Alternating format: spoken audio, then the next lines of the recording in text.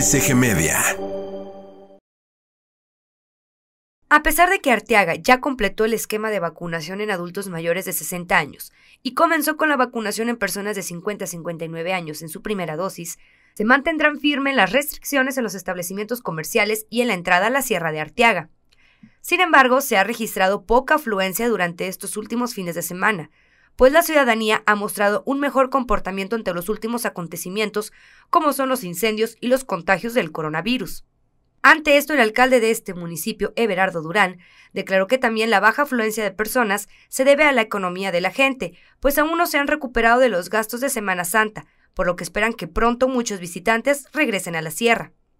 Además, informó que no se realizarán filtros para decomisar carbón, leña o artículos que puedan provocar un incendio, ya que la afluencia de personas para visitar la sierra en estos momentos es casi nula.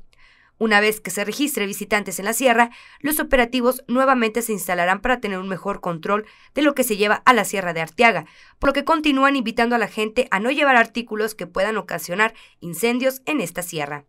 Con imágenes de Sebastián López informó para RCG Media 24-7, Fernanda López.